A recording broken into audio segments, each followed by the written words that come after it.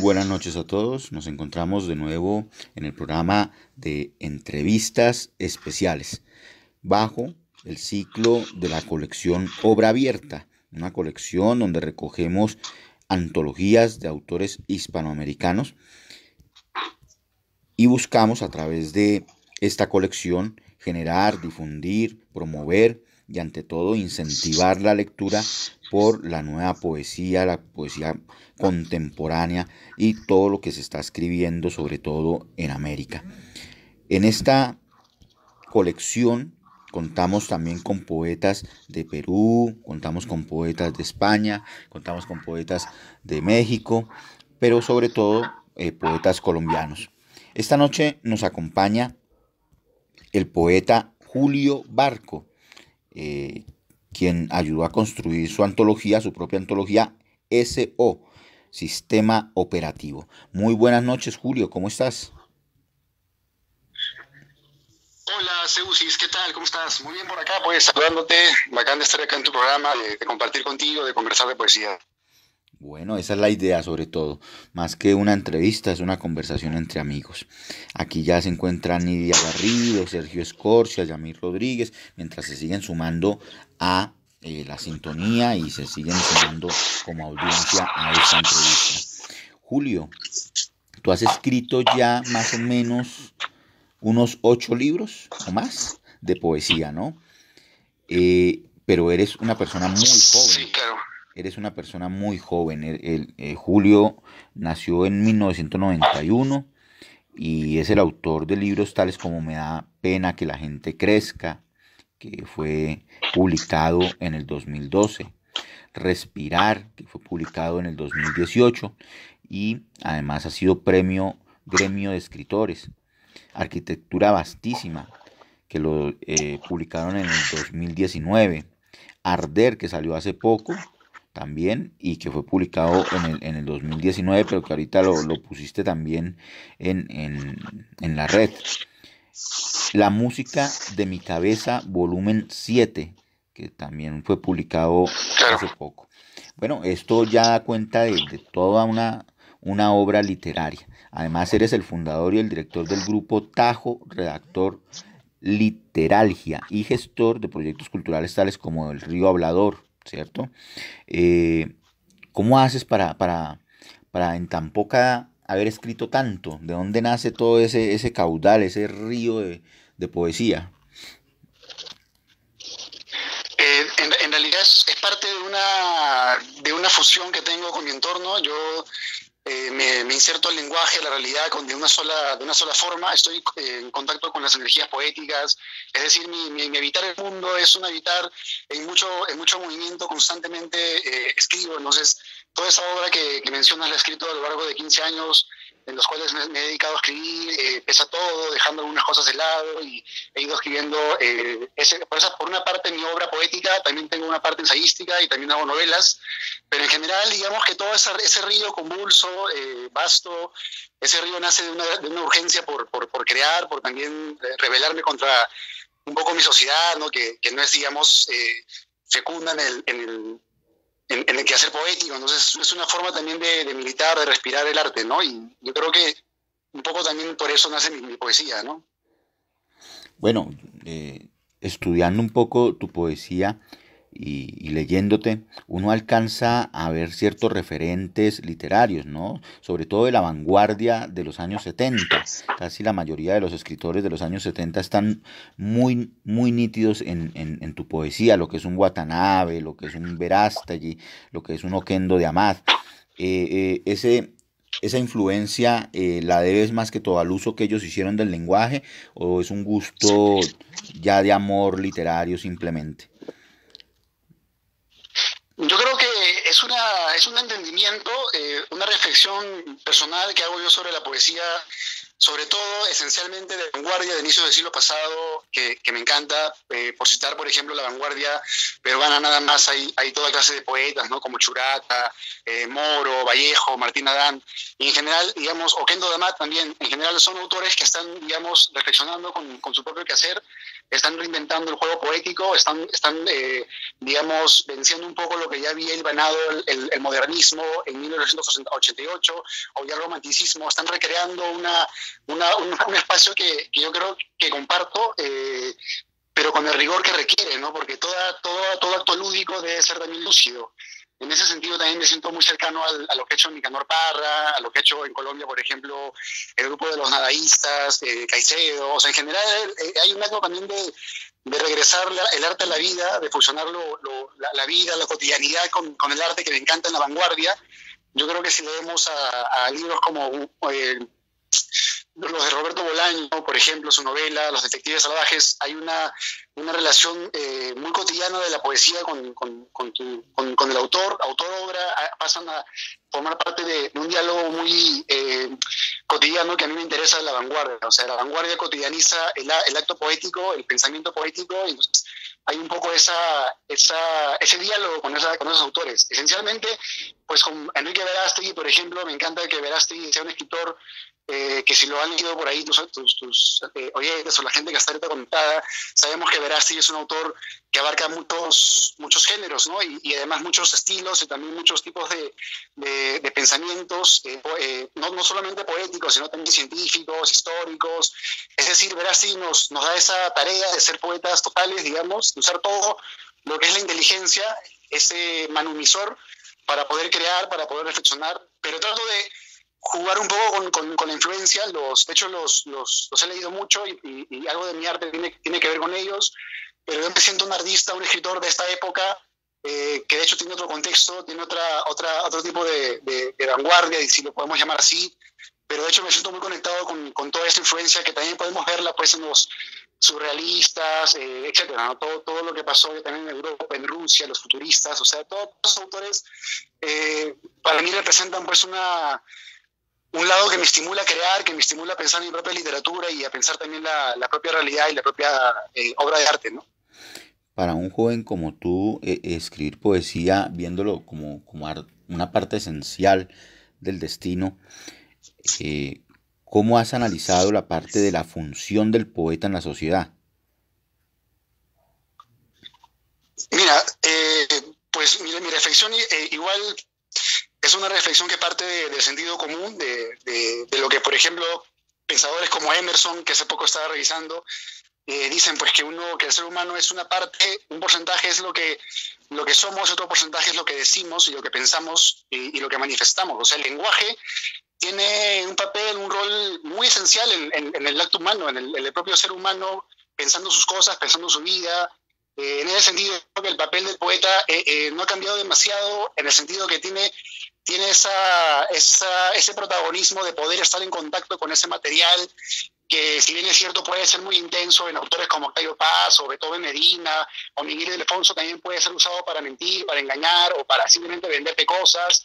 De hecho, el capitalismo usa mucho el lenguaje para engañarnos o para de pronto hacernos creer cosas o verdades o para de pronto crear ideas o conciencias. Entonces yo creo que en ese, en ese rol que, que me interesa, eh, la vanguardia tampoco pierde ese lado político el lado ético que termina siendo también el, tener el, el, juego del lenguaje tan, tan, tan cerca de nuestra propia eh, identidad. En ese sentido, yo creo que la poesía tiene, tiene un espacio muy fuerte para poder contagiar la creatividad, para poder agudizar el pensamiento, para poder transmitir eh, muchos yoes, porque igual la poesía es un acto que puede ser muy, singularidad, muy singular y muy de uno mismo, muy de uno con tu vida, con tu lenguaje, pero a su vez, al usar el lenguaje, como bien lo entiende Todorov, por ejemplo, eh, estamos comunicando algo más trascendental, que es, que es, el, que es, la, que es el diálogo que somos, que es, que es el, gran coloquio en el cual se, se, se funda lo que nuestra naturaleza última, digamos. Entonces yo creo que para mí la literatura no es solamente algo que está escrito, sino es algo que estamos viviendo, algo que estamos observando, algo que tiene una, una presencia antes incluso de que la escribamos y creo que al escribirla eh, hacemos ver esa presencia que ya sentimos en nuestra propia eh, en nuestro propio ser, en el, propio habitar el mundo, como decía Heidegger.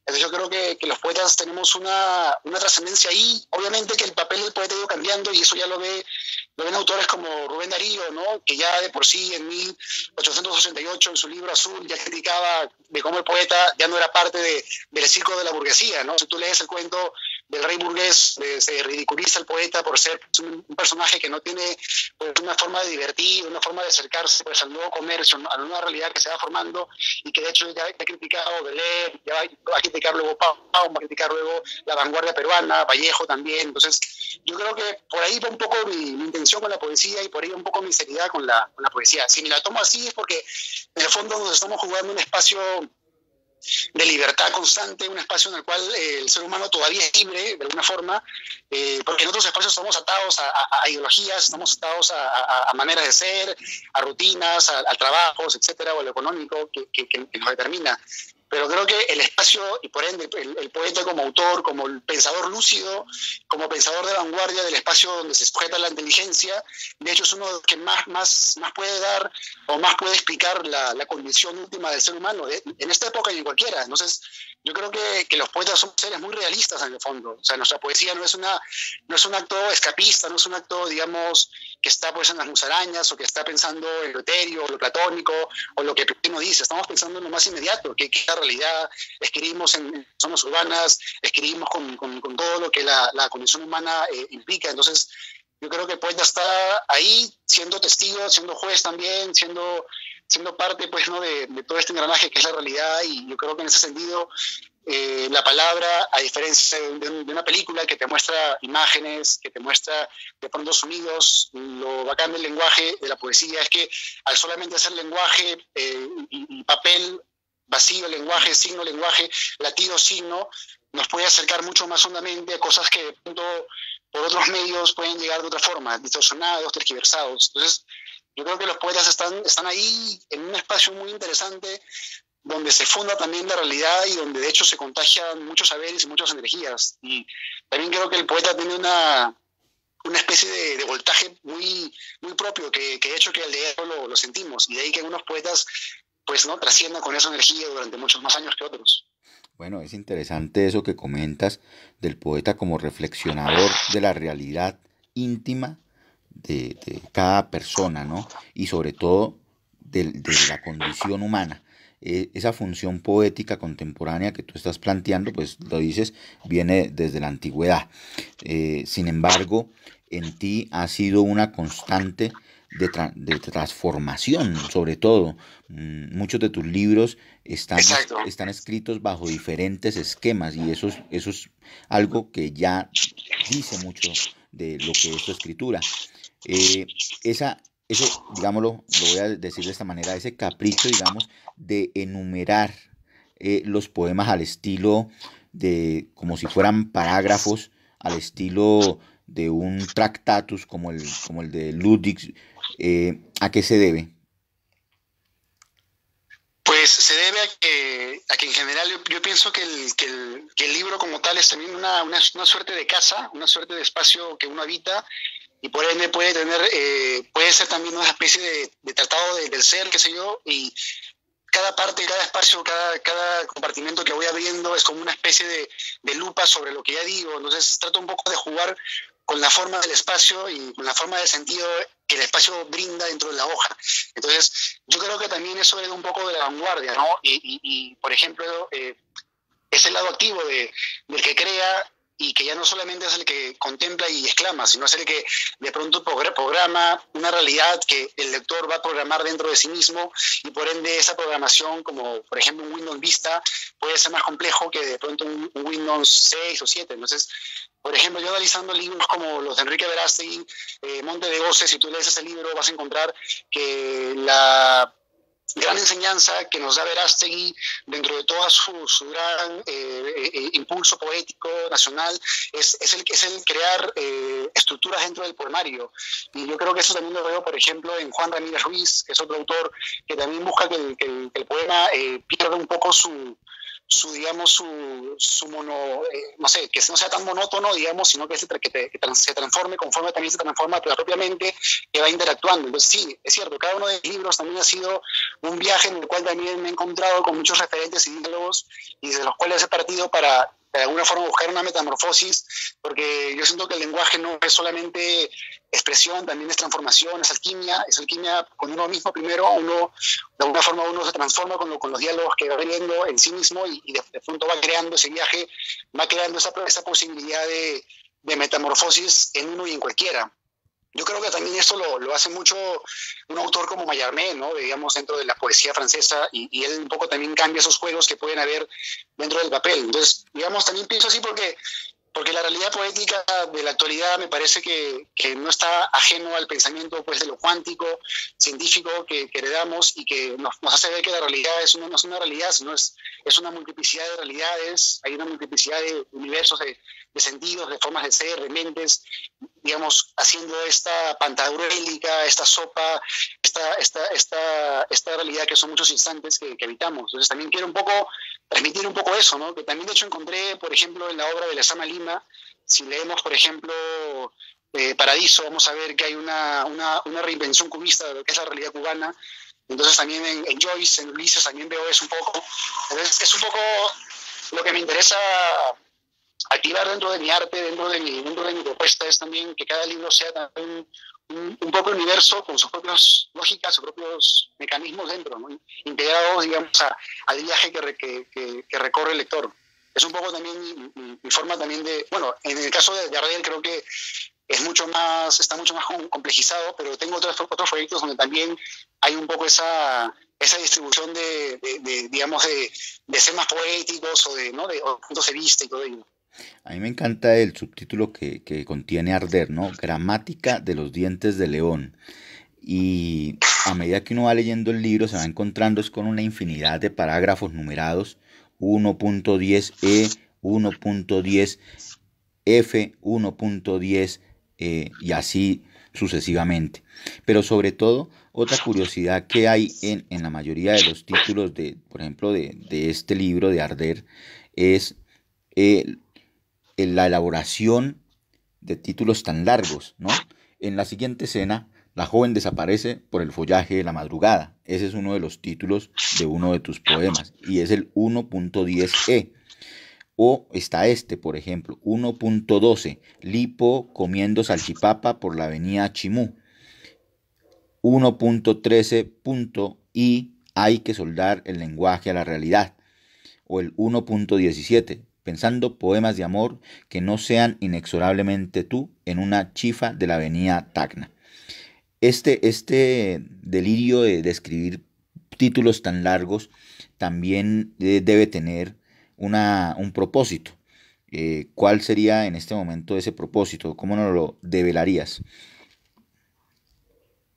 Pues en ese caso es, es esa, esa, extensión de los títulos también va de la mano con, con reinventar la, la, el clásico que puede ser un rótulo, ¿no? Es, es una forma irreverente también de, de, insertar la tradición, por ejemplo, en el caso de que tú mencionas a Lipó, que es una poeta, oriental, eh, de hecho yo lo inserto dentro de una realidad que podría ser la mía, que, que, que es una realidad más urbana, entonces es una, for, es una forma eh, digamos, de ponerlo dentro de mi realidad poética, de insertarlo dentro de mi propio mundo creativo. Entonces, trato un poco de, de romper esa, esos títulos para también crear, digamos, cumplir con, sensaciones más, más eh, resumidas, atomizadas y que de repente vayan con el lector y lo, y lo, y lo, lo, lo, lo agregan, lo toquen, ¿no? Ok, eh, vamos a leer uno de tus poemas y, y así podemos avanzar en, en la conversación. Acá hay uno que, que de hecho que de hecho tuvimos que, que, recortarlo por la extensión y dejamos solamente casi la introducción del poema. Se llama, el, el poema se titula 1.46 Quipú gramático. Estrellas, colores, flores. En Lima dejaré un amor de cabellos brillantes, más un vasito de plástico en un teléfono público. Bueno, aquí ya podemos observar cómo él va fusionando cotidianidad, calles, tránsito eh, de, su vida y los va fusionando a su poesía. Eh, todo, todo esto hace parte también de una intención de obra, ¿no? Vemos que, por ejemplo, el libro La música en mi cabeza, volumen 7, eh, hace, nos da la idea de que hay una construcción detrás de todo esto que habla no de un poemario, sino de una obra poética. ¿Cómo podrías explicar tu obra poética? No el poemario, sino la obra poética, el constante fluir. Pues mi obra, poética la, tengo, la tengo sistematizada, procuro no escribir por escribir, escribo bajo proyectos que me he trazado, digamos, dentro de mi reflexión, porque tú sabes que Tú sabes, Euxis, que, que en, el Perú la tradición poética es muy rica y, o sea, el poeta peruano tiene mucho de dónde coger y, pues, y vemos todo lo que es Latinoamérica también. Entonces, en ese sentido, por ejemplo, mi primera, la primera parte de mi, de mi obra se llama El Cuarteto de la Plenitud, donde son cuatro libros, el que tú estás ahora leyendo, que estamos ahora conversando, es el segundo, que es Arder, luego está respirar, luego está andar y nadar. Y son cuatro elementos y se llama el cuarteto, de la plenitud, que son libros en los cuales que, me sirven para sacar mi, otro libro que se llama El Durazno Gigante, que es una búsqueda también que nace de estas búsquedas.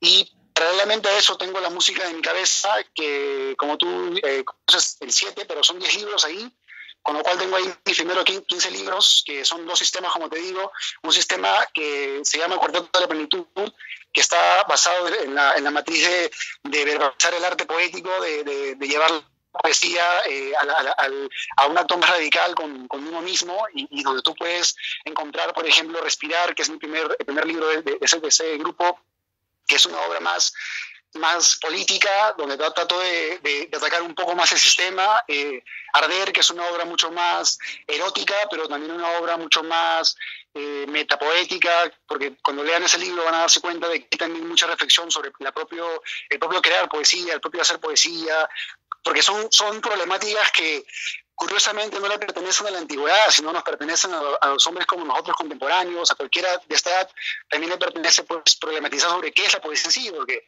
si nos quedamos con lo que dijo Platón, dijo por ahí Heidegger o lo que dijo Hölderlin, pues vamos a quedarnos con lo de siempre. Idea es romper un poco el esquema y, bueno, siguiendo a Enrique Dassel, por ejemplo, ¿no? resemantizarlo para nuestra época. Entonces, eh, es una vanguardia reactualizada lo que hago en, en esos cuatro libros y luego nadar que es el, elemento agua, porque también cada, cada libro está eh, de alguna forma también eh, asociado a un elemento, al fuego, al agua, a la tierra, y luego esos elementos dan paso a una obra que se llama Durano Gigante, que justamente es fruto de esos cuatro libros, que es una obra también mucho más eh, ambiciosa también que estoy armando, y luego están los, los otros diez, que es la música de mi cabeza, y la música de mi cabeza ya es una es una desconfiguración ya hacia, hacia, hacia, una vanguardia más radical, donde quiero también citar más lenguajes. Eh, yo creo que el, poeta puede, digamos, eh, ser una gran antena y puede jugar con todos los lenguajes que quiera. En ese sentido me interesan eh, explorar también otro tipo de lenguaje programados dentro de mi poesía. Entonces, esos son mis, mis 15 primeros libros, ¿no? Que, como ves, son, son parte de, dos proyectos y luego ya cuando acabe, acabe los 30 años voy a empezar otro, otro, otro tipo de proyectos, eh, porque mi plan es, digamos, también eh, problematizar en ensayos o problematizar también, digamos, en, ideas, pero también en ensayísticas. Entonces, eh, para ir un poco más abriendo, digamos, el panorama, ¿no? Bueno, hay algo... No sé si te lo he explicado, pero un poco así es mi, algo que me inquieta, ¿cómo, cómo podrías argumentar? Mira, aquí tenemos, y, lo bueno de este programa es que nuestra audiencia es una audiencia eh, de poetas, una audiencia de, poetas no solamente reconocidos, sino poetas en crecimiento, poetas en aprendizaje. Entonces aquí tenemos, por ejemplo, a Yamir, a Sergio, a Nidia, a Annie Lixton, a Hernando Guerra, a Gabriel Restrepo, a Juan Carlos Acevedo, a Olga Lisa, a Patricia Suárez, a Johnny Vanegas, a Mónica, a Dani Foliaco. Bueno, todos los que están aquí conectados eh, tienen también y precisan también de eh, argumentos para, para, poder dar con lo que ellos definirían sería la poesía. Pero ¿cómo hace un joven para poder argumentar tan libro, o sea, no, no, no te das un momento para descansar y decir, bueno, voy a, aunque sea, darme un año para no escribir, porque ya, ya, ya hay demasiado, son 15 libros escribiendo. Uno podría decir, eh, eh, y generalmente se piensa, hay dos ideas. Una, que escribir mucho a veces mm, no demuestra calidad literaria. Y otros eh, pueden asegurar que escribir poco es pensar mucho sobre, sobre lo que se hace. ¿Con cuál idea estás más de acuerdo? Eh, viendo ya que, eres muy prolífico en, escribir? Yo creo que con, una tercera, ¿no? Que sería, uno escribe a su ritmo finalmente y, y uno puede tener un ritmo más, más creativo sin perder rigor. O sea, también ten en cuenta de que mi, de mi, lectura, mi creatividad eh, nace pues también de, que soy un lector bastante inquieto y, entonces no, no, puedo, digamos, de alguna forma eh, estar fuera de, mi trabajo, que es, que es, que es, que es estar atento a la, a la creación del lenguaje. Entonces, en ese sentido, me siento un poco cercano pues a, a, las ideas que daba, no sé si has leído a Jorge Tellier, que es un gran también eh, pensador sobre la poesía, la realidad, la vida. Él tiene, él tiene un, ensayo que justo lo recuerdo, donde un poco él teoriza ¿no? sobre, sobre qué es el poeta y todo ello, ¿no? Y, y él dice hay que hay que lograr un poco sostener el arte, pero en la cotidianidad, en la realidad. Entonces, yo creo que eh, en ese sentido no me siento, digamos, un, un escritor prolífico, pero, pero vacuo o, o, o, simplemente, digamos, sin rigor. Me siento con mucho rigor, siento que cada libro mío me cuesta mucho hacerlo y lo hago por... Por, por ejemplo, los, los que ahora conoces, los he escrito, digamos, en más de, más de 10 años de, de, lectura, de, idea y todo, ¿no? Julio. Por otra parte, creo, creo que escribir poco creo que escribir poco también es, es muy interesante. Eh, yo recuerdo que leí hace, hace tiempo a Ciorán, Ciorán hablaba justamente de eso, ¿no? que él había escrito poco y, y, que era mejor escribir poco, pero no sé, por ejemplo, pienso en gente como Pessoa, que escribió demasiado y, y, no fue malo, pienso en gente como, como Vallejo, que también escribió mucho en muchos géneros y tampoco fue, fue mal escritor, pienso en gente como, digamos, eh, otro poeta, Verasti, también, o gente de Perú, un poeta más, más reciente, que, con el cual me siento muy cercano, por la creatividad, por el talento, es Miguel Ildefonso, ¿no? que tiene más de 20 libros y, y yo creo que, que, que, no hay ninguno que sea malo, sino hay, hay, hay más bien que meterlo en su obra y, y, nos enriquecemos porque hay, hay una exuberancia, sí, pero también una constancia de, de, de, la cual nace, nace ese arte. Entonces, eh, me, me, cuesta mucho quedarme con una sola línea, estoy avanzando en mi arte, estoy tratando de, de hacer un, un, un espacio para, para también pensar. Entonces, como como que siento que hay una naturaleza mía eh, más solar, más, más, más, más abierta a lo creativo, que de hecho eh, me, me, conduce a esta, esta incesante creación. No sé, no, no, no, eh, no dudo de que algunos, para algunos sea un poco más lento y está bien, pero yo creo que uno debe, debe ser más, más afín a su propia, a su propia digamos, eh, sinceridad, honestidad lírica. Mi, mi, último libro, por ejemplo, Desierto, lo escribí en, un solo mes, en un viaje que tuve al norte, pero, pero los, los, los apuntes eh, los tengo hace tiempo, las ideas que me llegaron a ese libro las tengo hace años.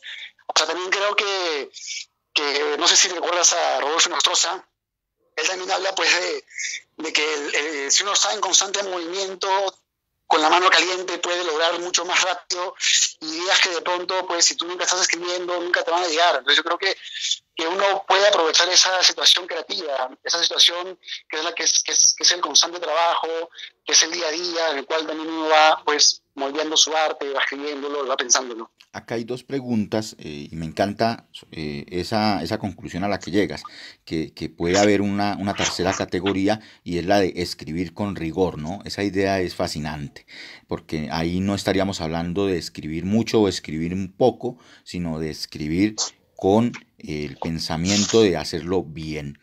Cristian Rincón te tiene dos preguntas. ¿En qué sentido tu poesía ataca el sistema, como tú mismo lo has dicho? Él eh, hace esa primera pregunta. Y la segunda, bueno, yo creo que sería primero interesante eh, escuchar la respuesta sobre esta. ¿En qué sentido tu poesía ataca el sistema? Mira, situarnos en, en, en, libros en todo caso, ¿no? Hay, hay un ataque mío, por ejemplo, en respirar, que hago hacia, hacia, los valores, hacia la, hacia la educación, o sea, incluso hay un, hay un poema al final de Respirar que es, una, que es un llamado al, a un acto coral, o sea, es un, es un libro mucho más urbano crítico, eh, lo ataco porque no estoy jugando con, con, con, la lógica que el sistema tiene con el lenguaje, estoy abriendo el, el, la posibilidad del diálogo, de la reflexión sobre la palabra, y, pero con Respirar es un, es un ataque mucho más... Eh, más reflexivo, más, más digamos, eh, subversivo, pues porque también estoy atacando códigos eh, eróticos, sociales. Mi ataque, mi ataque da un sentido de, de, de, abrir un poco más, expandir un poco más lo crítico que puede ser la mente, eh, los juicios que tenemos sobre la realidad. Eh, yo creo que por ahí un poco mi, mi, mi, búsqueda, mi, crítica, eh, mi, mi, creación, digamos, consciente también, pues, ¿no? De que estamos regidos por, por modelos, digamos, que, que, nos, que nos llevan no al pensamiento, sino a, al consumo de pronto. Entonces, va un poco por ahí esa, esa búsqueda mía también. ¿Cómo dialogan, dice Cristian, y pregunta, ¿cómo dialogan entonces esos elementos con el cuerpo y con el lenguaje? Porque precisamente en el cuerpo se da el poema, precisamente eh, somos cuerpo, empezando por eso, y, lo que el poema libera o el poema, el poema cumple su rol esencial dentro del cuerpo que somos, dentro de la mente, del cerebro. Entonces, eh, lenguaje y cuerpo se unen dentro del poema, son una sola, una sola, un solo erotismo, una sola transgresión, porque finalmente somos ese cuerpo del lenguaje que creamos también. Entonces, si uno, si uno, si uno por ejemplo, eh, entiende cómo critica, por ejemplo, pongamos el caso, ¿no? Y Rubén Darío, dos grandes críticos también de la realidad latinoamericana, dos grandes críticos también del poema, y cómo ellos los, critican el poema, y en realidad lo hacen pues eh, entendiendo el, el, espacio que se, había, que se abre dentro del lenguaje poético de su época, y por ende abriéndolo hacia más. Rubén Darío, dentro de la poesía que había en esa época, que estaba pues dominada por un un Machado, poetas que venían más de un sentimiento religioso, Rubén Darío lo lleva pues un sentimiento más, más francés, a Berlín, lo, lleva más a, un, sentimiento que tragede, digamos, la, la propia mente. Verás igual, Verás igual toma la la poesía de su tiempo, porque si analizamos a Verasti con todos sus contemporáneos, Verasti, Oscar Málaga, Jorge Pimentel, Juan Ramírez Ruiz, José Watanabe, Armando Arteaga y todos los poetas de esa época, peruanos también, eh, eh, después Mariela Dreyfus, en esa época también Enriqueta Véleva, ¿no? o María Emilia Cornejo también, pues. Yo creo que Verasti es más agresor porque Verasti juega con todos los elementos de la realidad, ¿no? que pueden ser la ciencia, los números, y hace una poesía que incomoda más al sistema. Pero yo creo que también tanto Rubén Darío como Verasti hacen una revolución dentro del poema, que es donde tenemos que hacer revolución, porque tenemos que abrir espacios que antes no, no existían, de, antes de nuestro poema no existían. Entonces, estamos creando posibilidades que se van a abrir, estamos dando energías nuevas que van a poder tratarse dentro de la realidad, porque finalmente vemos en nuestra soledad, pero estamos en constante movimiento con todo el mundo. Entonces, lo que uno, lo que uno del poema lo, lo, desata para su época y, ahí hay un acto como de fuego en, el, en lenguaje eh, poético. ¿no? Hace poco revisaba, por ejemplo, la tesis que hace César Vallejo cuando se gradúa en la universidad y es muy interesante lo que él analiza sobre el poeta y la sociedad, citando a un pensador francés, creo que se llama Guyau, Vallejo habla de, cómo el poeta es energía y esa energía que uno crea pues, puede traspasar a, muchos otros y generar finalmente tocando otros cambios.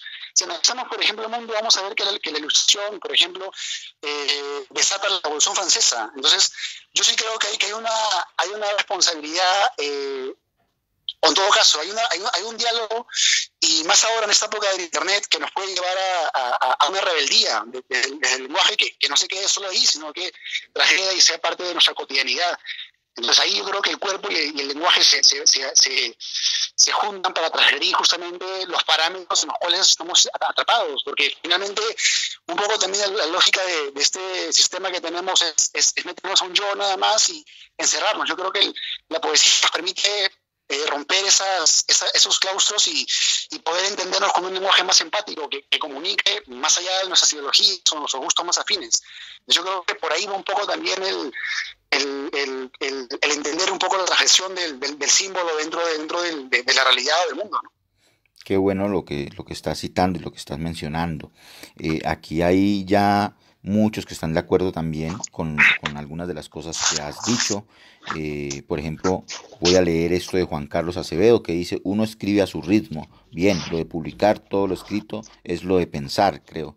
Lo que arde es el patrón que palpita en cada ser humano, nos dice Juan Mauricio. Y Rosaurio dice excelentes respuestas, Julio. Sin embargo, pues eh, este, es, este es un público riguroso también y eh, de antemano yo podría, antes de, hacerte esta pregunta, eh, lanzar un argumento en defensa de Julio, y es eh, que todos los autores que hacen parte de la colección Obra Abierta están ahí es porque tienen una voz propia. Si no la tuvieran, eh, indiscutiblemente no, nunca los hubiera invitado a ser parte de esta colección. Entonces, sin embargo, Fernando Guerra puntualiza aquí algo. Hay una pluralidad de lecturas como soporte ¿Hay voz propia? Obvio, obvio. Y, y, eso quiero, quiero, quiero hacer hincapié porque justamente la voz propia, la originalidad, yo creo nace de, de haber, de conocer y romper todos los lenguajes. Si sigamos, por ejemplo, las ideas que de, la, de, de, lo, de, lo, barroco que se hacen en Cuba, o sea, la originalidad es una, es una consecuencia de haber llegado a tu propio lenguaje al, uno mismo que finalmente es el poeta, eh, que, que, puede también, que, somos todos, pero la mirada propia nace también de, de poder entenderte frente a todas sus esencias. Entonces, lo que uno hace es, es, es por ejemplo, ¿no? yo, yo puedo leer a, a, a, Paz, pero escribo como Julio Barco, ¿no? Entonces, obviamente, Octavio Paz eh, entendía al, al, pianista, este pianista que, que, que, problematizaba sobre el silencio. Lo usaba, lo usaba para hacer su poesía, pero seguía siendo Octavio Paz. Entonces, yo creo que poner un poco el, la idea de las influencias, o sea, no, no copiamos el espíritu que hay detrás, Tal vez sí imitamos y seguimos eh, las transgresiones que, que, hacen con el lenguaje o cómo, o cómo ellos lo, lo, problematizan con sus propias búsquedas personales. Yo creo que, que, ahí está un poco la, la, necesidad también de conocer mucho la tradición, porque no, no parto pues de, de, creerme original porque yo lo diga, también es un juicio que saco de mi, de mi lectura, de mi razonamiento que hago solo sobre la realidad poética de mi país y del continente. Entonces, yo creo que hay una, hay una necesidad de honestidad intelectual que debe tener todo poeta. Eh, que precisamente eh, debe ser pues un gran, conocedor, pero más que, más que imitar, más que copiar, debe asimilar. Y ahí se va creando lo, nuevo, y de hecho lo nuevo está muy asociado con todo, o sea, todo, todo se, va relacionando en un, punto. Y yo puedo, yo puedo leer, eh, leyendo por ejemplo a, Rubén Darío, a veces leo también a, a poetas como... ¿Aló? Ecos de muchos poetas. ¿Aló? Sí. Sí. Eh, excelente respuesta, Julio, y, eh, también quiero añadir a esa respuesta eh, no solamente el argumento que cité atrás de que los que hacen parte de esta colección, pues definitivamente son personas, son poetas que han construido una obra y por lo tanto los, los invité a hacer parte de la construcción de una antología personal a cada uno de ellos, a cada uno de ustedes y a cada uno de los poetas. Pero eh, para ponerle un fundamento aún más, más grande, eh, debo decir que Julio Barco me parece que es una de las voces generacionales del Perú más originales en este momento, tanto así que no solamente eh, hace parte de esta colección de antológica, sino que también lo invité para hacer parte de la colección Lector Infábula, con un libro nuevo que terminó hace poco, que se llama Copiar, Cortar, Pegar y Cargar. Un libro que me fascinó y, y del cual pues ya ustedes podrán conocerlo en cuanto salga publicado.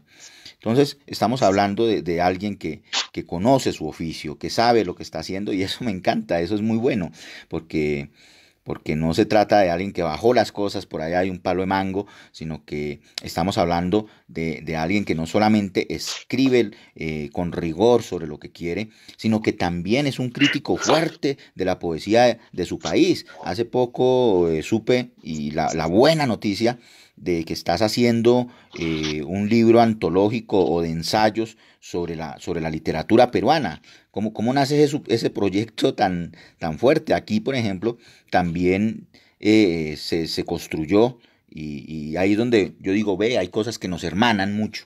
No, no el poeta solamente como, como poeta, sino también como crítico de la literatura y, te hicieron esa entrevista en, en, España, creo que fue, ¿cierto? del libro que está sacando ahorita sobre, sobre literatura peruana, ¿cierto? Sí, eh, qué bueno que lo menciones, eh, porque sí, en realidad eh, hace falta una conciencia crítica para, para, la poesía, que es lo que a mí siempre me ha interesado, la poesía como, como un pensamiento crítico riguroso. La antología que mencionas eh, se llama Yo construyo mi país, eh, con palabras, que es un verso de un poeta llamado Washington Delgado. De hecho, es una, es una, es una recopilación que recoge voces, 80 voces, más 20, o sea, 100 voces del 2010 al 2019 y que va a ser publicado en España y que de hecho es un libro que yo, que yo, que yo vengo trabajando en mi mente hace años porque siento que, que los poetas debemos ser eh, no solamente eh, activos en nuestra obra, sino también pensar en que somos parte de una, de una tradición, de una coralidad, que así como estoy acá yo hablando contigo, hay 80 poetas peruanos que también deben ser leídos, que también deben ser conocidos, también en su arte también debe crecer, debe, debe buscar también su visión. Entonces, traté de juntar todas esas voces y creé una, una especie de antología que es anticanónica, porque también soy, soy, muy lector de todo lo que pasa en la poesía eh, a nivel nacional en mi país. Entonces también siento que hay muchas voces de provincia, tú sabes que el, país, el Perú es un país grande, entonces tanto el norte como el sur el centro y todo, hay muchas voces que dibujan lo que es el país y justo recopilo este verso de Washington Delgado, yo construyo mi país con palabras porque yo creo que el, que poeta peruano tiene, una cruz grande que es que siendo un artista eh, tan riguroso en, muchos sentidos y que tanto le da a su país y al mundo es uno de los más olvidados a nivel de, de nuestro estado. Eh, no, hay, no hay demasiado apoyo, no hay, no hay demasiada sintonía con esos artistas pero también soy consciente de que hay un montón de, de, nueva, de nueva, acogida con, con internet y todo ello. Entonces, este trabajo también es un poco para, para, incentivar y para hacer cambiar la idea de que no hay poetas, de que, de que está todo, todo muerto, es una cosa de otro, de otro siglo. En realidad es un trabajo que, que lo hacemos en toda la región eh, de, de, mi país y, y, hay autores pues, de Cusco, de Nahuaylas, también autores de Ancash, la parte selva. Entonces, todo, todas esas son voces que, que, que integran un poco lo que hemos ido trabajando en, en toda la década. Y, y de hecho es, una, es, muy bueno, es un trabajo que, que, que, va a ser hecho en...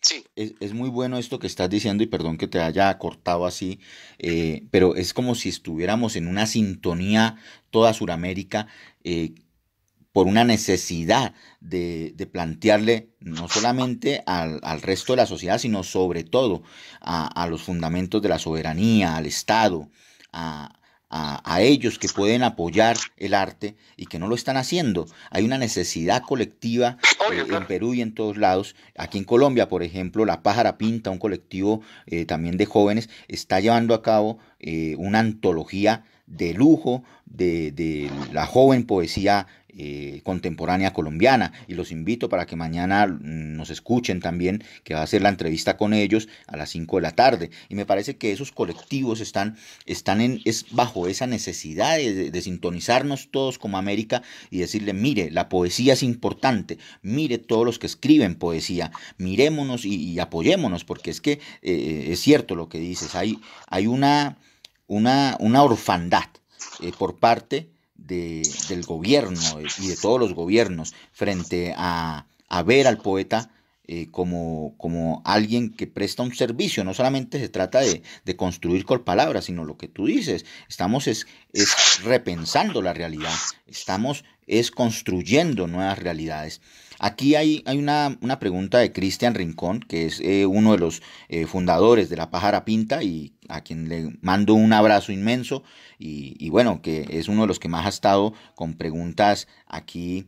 Eh, debe ser por la misma necesidad y el mismo, la misma rigurosidad de, de verte eh, en sintonía con todo lo que están haciendo ellos y todo lo que estás haciendo. Y él pregunta, ¿cuál es tu posición con respecto a la tradición peruana?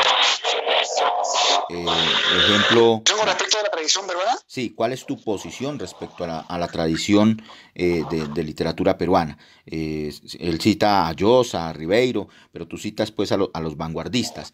Entonces, ¿cuál sería esa posición más allá de la lectura? Claro. Pues eso, eso es una posición de, de, de diálogo, fundamentalmente. Yo siento que que hay muchísimas voces en las cuales uno puede encontrar afinidad y creo que lo importante es pensar que cada, cada, cada artista, poeta singular tiene una familia diferente, entonces, pero dentro de toda esa familia que compartimos acá, la, la, la tradición muy grande de, vanguardia, eh, es, la que, es la que nutre mi arte, pero también, sin duda, los que menciona la, eh, el, eh, la pregunta, Yosa, Ribeiro, son más bien escritores, digamos, de, de, prosa, su obra es más en el lado de novela, cuento, aforismo, ensayo, no, no hay tanto poesía en ellos, aunque su, su, su, su prosa es muy poética, sin, sin, lugar a dudas. De hecho, son, son los autores que, que leo desde la, la, la, adolescencia, la infancia. De hecho, con, con Ribeiro tengo, tengo una, una relación mística, pues leyendo Ribeiro descubrí mi amor a las letras, fue, fue, una, fue un impacto, me, me, me causó, porque es como que Ribeiro tiene una una plasticidad en su lenguaje que tú al leerlo te, te metes al mundo de Ribeiro, que es, que, que, es un mundo muy rico en, sensaciones, en sonidos, en, olores, en aromas. Entonces yo creo que ese poder que tiene Ribeiro al escribir me, impactó demasiado cuando yo lo leí a los 11, 10 años. Y bueno, Vargas Llosa también, que es un escritor que, a pesar de toda la, la parte, digamos, política, que, que, que, a nivel regional todos pues lamentamos con, con eh, eh, que defienda pues la derecha y que, que, su mirada sea hacia ricos, España, etcétera. Pero yo creo que, que de verdad Llosa tenemos que defender su, su fuego, defender su, su, su, rigurosidad para hacer su arte, que es un escritor muy constante dentro de las letras peruanas. Yo creo que pocos son los que han escrito tanto en novela como Vargas Llosa, y eso ahí es lo que yo separo de él y, lo que yo finalmente miro. Y, tú leyendo pues sus, sus, novelas vas a encontrar mucho trabajo, mucha lectura, eh, hay una relación muy muy interesante. Ahora, Uy, la verdad yo creo que hay que separar un poco eso, ¿no? Y, defender un poco eso. La, la, verdad de las mentiras, por ejemplo, es un, la verdad de las mentiras es, por ejemplo, uno de los libros que, que, deberían leer en los colegios, por lo menos, porque es un libro que iniciático, es un libro que te ayuda a, a encontrarte no con la literatura tradicional, sino con una infinidad de lecturas eh, que, que las comenta un escritor. Entonces, el escritor como lector, ¿no?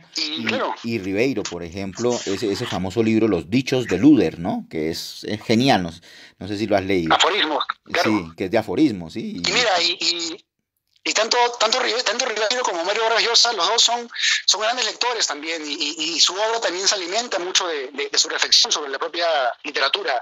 Y justamente el, el, bueno, Vargas Llosa tiene varios ensayos, ¿no? Sobre Frodé, sobre eh, José María Argueda, Sonetti, Borges, que va a sacar ahora poco, también sobre García Márquez y el propio Ribeiro, que también, digamos, a mí me parece que todos deberíamos leer sus diarios, que vemos ahí pues cómo, cómo Ribeiro era una persona que, que, vivía para la literatura, que a veces no le importaba pasarla mal o no comer a veces, pero seguía escribiendo, bueno, sobre todo en su juventud, ¿no? Que, que se ve mucha pasión por leer, por aprender, por conocer autores franceses y, y, estar ahí muy metido. Entonces, yo creo que un poco eso es lo que me interesa de los dos, rescatar esa pasión, ese fuego constante, pues que no es algo que, que de pronto todos, todos tenemos, sino que vamos más bien cultivando y llega un punto en el cual se desborda y, terminas así escribiendo muchos libros y, la vida se te abre para la literatura. Es, un poco también lo, lo interesante que puede ser esto. O sea, finalmente uno empieza leyendo un cuento, escribiendo algo y luego terminas armando algo más grande de lo que pensabas. Y, cuando lo, observas a, a, distancia te das cuenta pues no que hay un, hay un camino recorrido como tú dices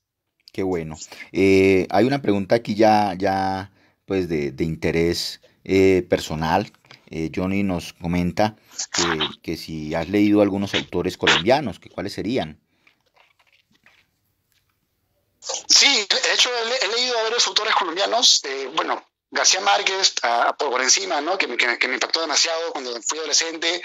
García Márquez es también un, un gran, eh, un, un, un, gran obstinado, un, obstinado creador. Tú sabes que Sueño de Soledad es un libro que creo que es un libro número, número 3, 4, 5, 6, 7, creo, no sé cuánto había escrito antes, pero lo que sí sé es que había escrito muchas, muchos sillones para películas mexicanas en blanco y negro. Entonces te das cuenta que, que la, la, la, genialidad de García Márquez era constancia pues, de, de, de, toda una vida escribiendo, que lo que lo, que lo llevó pues, a, a, ser uno de los grandes autores latinoamericanos. Por un lado, García Márquez, y por otro lado, me, gusta mucho la, poesía de, de gente como los analistas, Gonzalo Arango, me, me encanta también su, su, visceralidad, eh, José, eh, Juan José Jaramillo, eh, también lo que hace este poeta que estoy, que estoy olvidándome, ah, sí, es un, es un poeta más antiguo que de hecho también me vacila, es Villa, Villa, no me acuerdo bien cómo se apellida, que es un poeta también ah, Vargas colombiano, que es de la época de, de Rubén.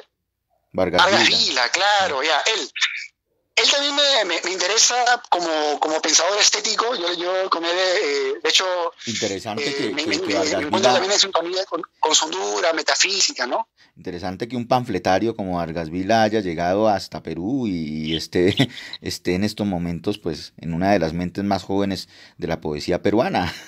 Muy interesante eso. Aquí Vargas De hecho, yo Vila, lo tengo, yo lo tengo subrayado, Vargas Vila. De hecho, de hecho su, su, su libro, los, los Horizontes del Alma, bueno, no, los, los Huertos del Alma, un, un libro así, me, me, me impactó. Yo creo que, que en Vargas Vila hay una, hay como en Chocano, que es otro poeta de esa generación, hay una insolencia con el lector, una, una, un sentirse escritor, digamos, como algo más solemne, como un estar por encima, que de hecho te, te, enciende también para escribir, te, te, da, da, una fortaleza, ¿no? Como, como, como pensador, ¿no? Es como que con Vargas Vila leyéndolo, hay un, hay un gran fragmento donde él habla de la soledad, ¿no? y, él hace un elogio de la soledad, dice, ninguna mente profunda ha podido hacerlo sin estar solo, ¿no? Y él habla del animal, que, de un jabalí que, que corre pues en medio del bosque, y justamente él, él compara a ese jabalí, ese animal, con el autor que, que finalmente solo hace su obra y, la comunica a los hombres como un Zaratusta, ¿no? como un hombre que se aleja, pero que está en contacto con todo. Entonces yo creo que en Vargas Vila está un poco eso,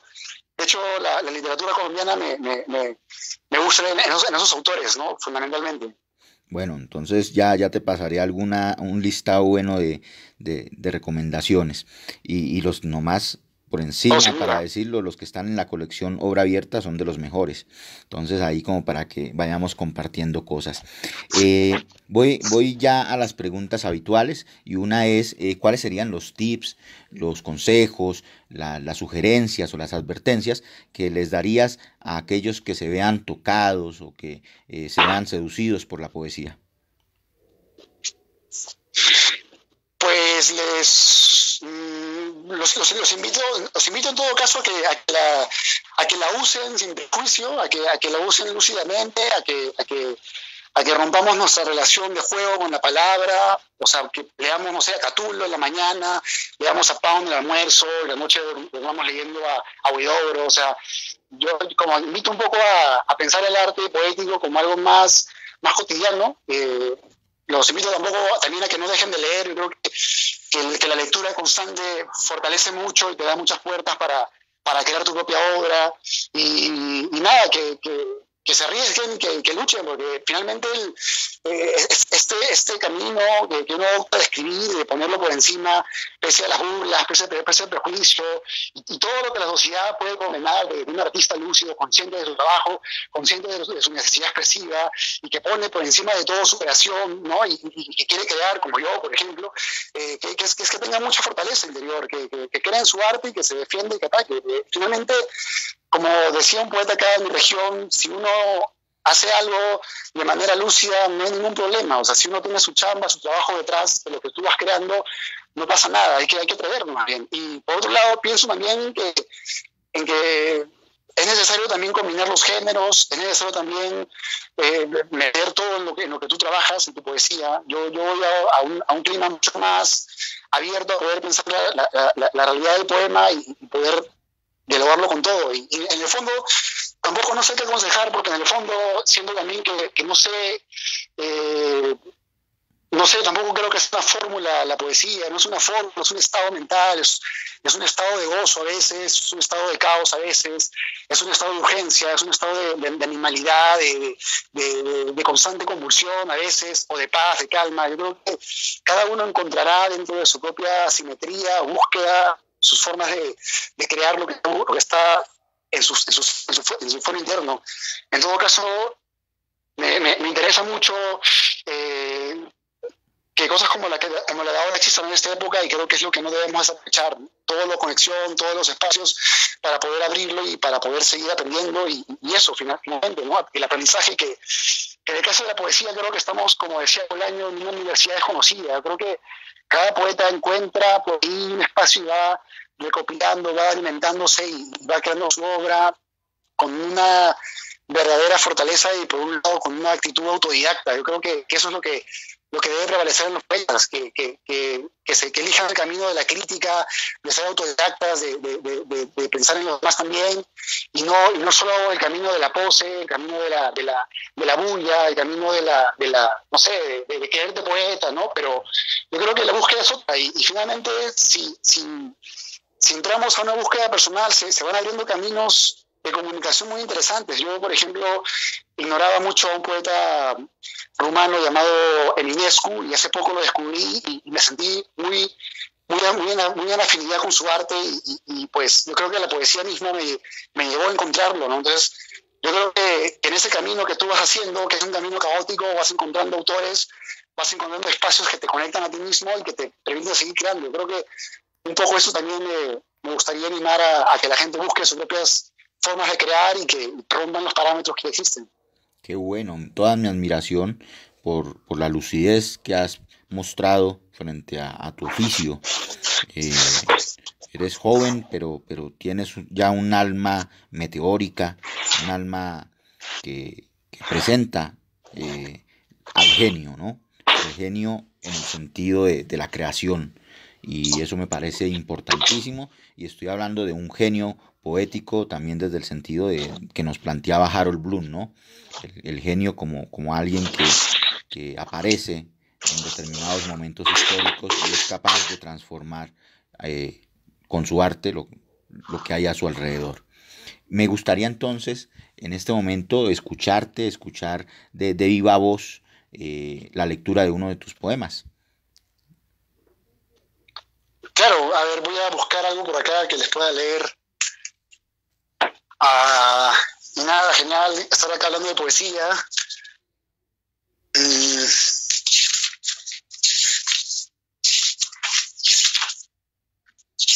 Mientras tanto les comento eh, de algunos de los comentarios que, han, que han eh, manifestado y que han enviado nuestros oyentes.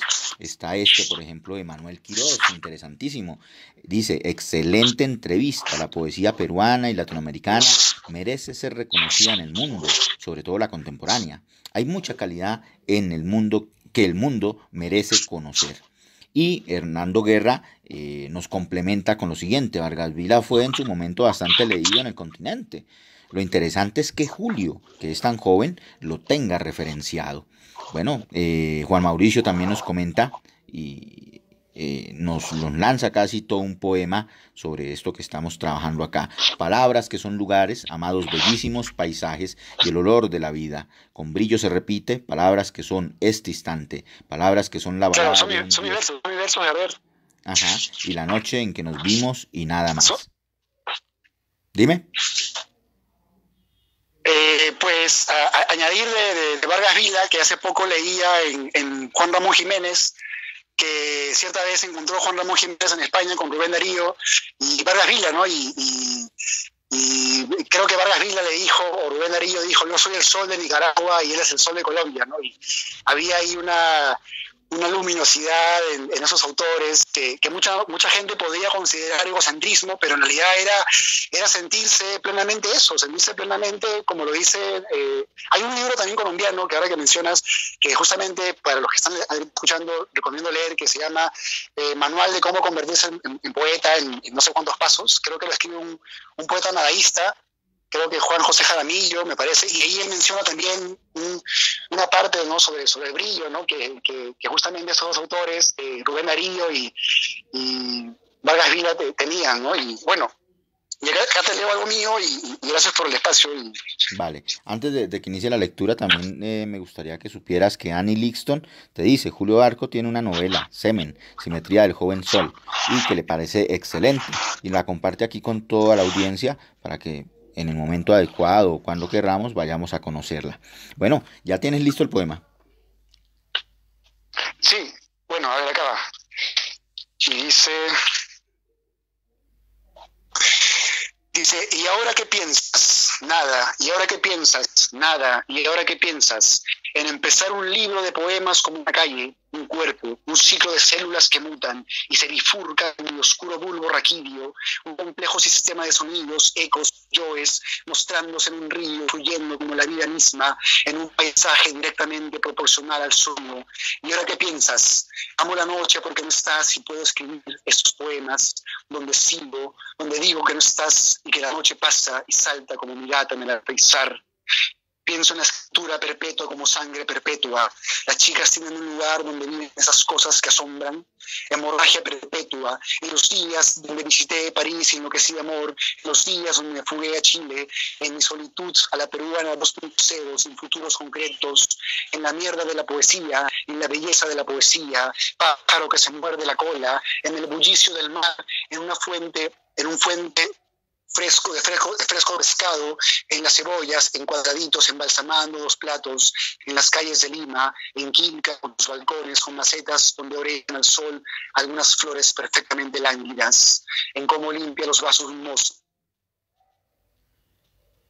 en los ojos, señora, y un hermoso poema que escribí de madrugada, justo lo tengo aquí en el bolsillo, y dice, y esta, y esta es pues tu vida, algunos años cerrando por hermosísima ciudad, el arrebato que te guía, por las avenidas donde vagaste sin conocer que tus labios levantando el viento, los rostros de tus amigos se pierden en las tardes, nada ha quedado de nuestra adolescencia, salvo el sabor amargo de la cerveza que a veces bebemos para recobrar la luz de nuestros cuerpos absortos. ¿Y ahora qué piensas? En ciertas escenas de mi vida, es decir, en el último verso de arriba, la luz de nuestros cuerpos exhortos, y así, y así sigue todo el poema. qué bueno, qué bueno. Eh, yo voy a leer uno que, que me gusta mucho, 3.2a. Yo me digo a mí mismo, te enamoraré muchacha, y luego prepararemos guisos de atún con arroz. Luego intentaremos una ciencia para definirnos y no estar solos. Uy, es, ese es corto y me parece que, ya dice mucho de lo que, lo que haces. Eh, acá hay otro también que, me gusta mucho que se llama Cuando robábamos sábila de los, cuando robamos sábila de los vecinos. Y las tardes se pegaban a nuestros zapatos de charol. Ahora ya no soy niño. Siento que florezco calles, chifas, mercado de abarrotes de Perú. El bus chino pasa violentamente y deseo verte todos los días, no tener que trabajar y ganar dinero, que me paguen por ser yo mismo, desilvanando la luz de tu blusa. Y toda la poesía peruana es la flor que dejo en mi cuaderno rayado antes de salir a caminar a la luz verde del atardecer. Mi vida ha sido llegar a esta música y desaparecer una noche cualquiera, mordisqueando una deliciosa verdad. Me parece que es uno de los eh, mejores poemas que tiene, ¿no? Y por eso digo uno, porque son muchos los que, los que he leído ya de ti y que me han, que me han impactado, que me han generado ese gusto por, por conocer tu obra. Entonces, eh, nada, primero y casi último, decirte que, que, toda mi admiración eh, a tu joven poesía, a ti como joven, a ti como, como genio, va mi reconocimiento. No, no soy de los, de los que escatima esas palabras ni las dice por decirlas. Eh, creo que, hay, hay, algo que, mata al, gremio de los poetas mucho y es que a veces eh, se reconoce al otro como bueno, pero no se le dice por envidia o, por, o por rencor o porque dicen eh, si le digo esto se va a agrandar o se va a creer más que yo o lo que sea. Creo que, que, que, hay que quitarse eso, ese, esa presunción, hay que quitársela y es bueno decirle al otro eh, cuando sentimos admiración por lo que hace, que, verdaderamente eh, lo que está haciendo eh, va por buen camino y que no nos... Mm, no, no, sentimos ninguna envidia. Decirle al otro que es bueno no nos, no nos empequeñece ni nos engrandece, creo que nos humana. Y eso es, eso es lo importante en este caso. Eh, yo creo que ya es hora de hacerte las dos preguntas finales. Eh, espero que estés preparado porque estas son las preguntas de, reinado de belleza, ¿no? Entonces yo veré cómo responde ahí. Eh, mi queridísimo Julio. Julio, ¿la poesía nos salva? sí, nos salva, salva y, tengo fe en que, en que, en, que, es la última quizá eh, morada que nos queda eh, dentro de este mundo tan, tan plástico. No, nos salva un instante, de repente en el siguiente no nos salva, pero, pero por ese instante que nos salva vale la pena el esfuerzo y, qué sé yo, ¿no? O sea, hay un verso incluso que ahora recuerdo de César Calvo, donde, que, justamente viene de, una, de, un diálogo que tiene con, con Nicanor Parra en Chile y, explica muchas razones ¿no? de por qué hace poemas, ¿no? y al final dice, para demostrar que la vida es hermosa a pesar de la vida y a pesar del poema. ¿no? Y yo creo que hay una, bueno, en, ese, en el caso de, de, César Calvo hay una vitalidad, yo creo que el poema, el poema su búsqueda, su, su realización, ¿no? el, trabajarlo, el, el, el, participar en él, nos, nos lleva a un espacio también de bueno, como, como somos espacios creativos, ¿no? De tormenta y de, de, búsqueda y, creo que eso es la, única forma que yo, quiero salvarme, ¿no? O sea, no para llegar a la felicidad o a la paz, sino para vivir en el fuego que es el arte, que es, el, que es, la, creación, que, que, no es para nada un juego, no es para nada algo, algo bonito tampoco, sino es, es un estado intranquilo, sí, pero que nos salva de repente de, la, de, la, miseria de esta época, de la ignorancia de esta época, que es mil veces peor, que, que, que bueno, qué sé yo, ¿no? de, la, de, la, miseria de la televisión, la miseria de los políticos, la miseria de la educación. Creo que el poeta, el poema nos, nos permite otro diálogo, nos permite otra participación que, que es muy importante. ¿no? Ahora, crearlo también no, no, nos mata o nos conduce un poco a veces hacia todo, ¿no? Y creo que también un poco es, es lo que la consecuencia que uno debe tener con su obra, ¿no? De repente Vallejo, sin hubiera terminado viviendo más años, hubiera terminado no, no, no, situación, pero, pero su, crear, su, crear ese, eso lo, lo, consagra, lo, lo eclipsa y, también lo hace, lo hace digamos, un, astro, un farol. ¿no? Yo creo que salvarnos sí, pero, pero salvarnos de esa forma tan paradójica que, que, es el arte, ¿no? entre la realidad y los deseos, entre, entre, entre, lo, entre la paz y la euforia, ¿no? Bueno, lucidísima esta, esta respuesta y también como Hernando Guerra me quedo con, con, esa, con esa frase de que eh, la poesía es la última morada que nos queda. Fascinante esa respuesta que diste.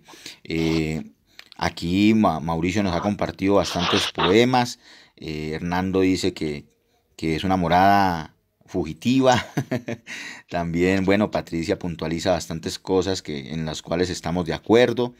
Eh, y, la mayoría pues de los oyentes creo que hoy han sido testigos de, una voz emergente eh, genial. Eh, dice Nidia, gracias a Julio por tan buena entrevista, buena poesía y a Zeusis como siempre con sus aciertos literarios. Dime.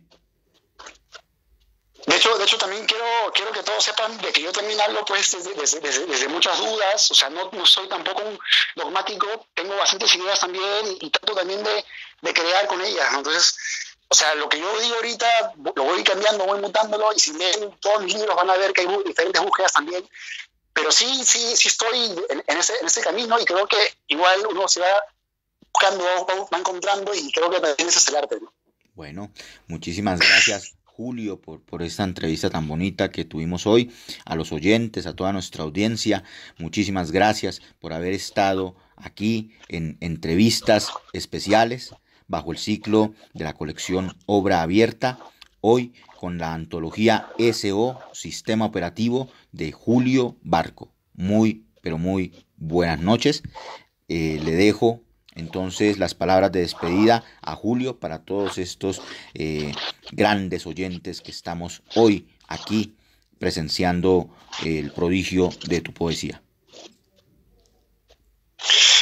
Pues eh, simplemente agradecerte por, el espacio que me das eh, para poder hablar, para poder conversar contigo y, quiero invitar a todos a que conozcan lo que, vienes haciendo. Yo también eh, quiero felicitarte por ser un, animador de, este, de, este, espacio contemporáneo que necesita gente así como tú, gente activa, gente que tenga ideales, que crea lo que está haciendo y que difunda de manera masiva lo que estamos también escribiendo. Entonces, quiero invitar a que la gente siga conectada a tu, a tu colección y que de hecho si conozca, conozca mucho más camino que venimos haciendo acá en el Perú.